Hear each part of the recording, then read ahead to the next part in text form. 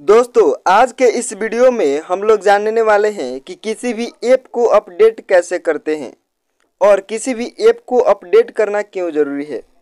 तो इसको जानने के लिए इस वीडियो को शुरू से लेकर अंत तक देखिएगा। अगर हमारे आप चैनल पर नए हैं तो चैनल को सब्सक्राइब ही कर लीजिएगा। चलिए वीडियो को स्टार्ट करते हैं। दोस्तों, सबसे पहले जान लेते हैं कि ऐप को अपडेट करना क्यों ज़रूरी है। देखिए, आप जितने भी ऐप यूज़ करते हैं, उनमें कुछ ना कुछ नए फीचर ऐड होते रहते हैं।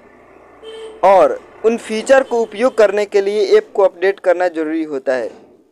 जब तक आप ऐप को अपडेट नहीं करेंगे, तब तक उस ऐप में एड फीचर का उपयोग नहीं कर सकते हैं। तो दोस्तों, अब हम लोग जान लिए कि ऐप को अपडेट करना क्यों ज़रूरी है। अब जान लेते हैं ऐप अपडेट कैसे करते हैं। तो दोस्तों, ऐप अपडेट करने के लिए आपको प्ले स्टोर पर चली जानी है। प्ले स्टोर पर जाने के बाद आपको कोने में अपने आईडी का एक ऑप्शन दिखेगा। यहाँ पर इस पर क्लिक करेंगे। जैसे ही क्लिक करेंगे, आपको first option manage apps and device का एक दिख जाएगा। इस पर क्लिक करेंगे। क्लिक करने के बाद आपको सेकंड ऑप्शन आप यहाँ पर देख सकते हैं अपडेट अवेलेबल इस पर क्लिक कर देंगे।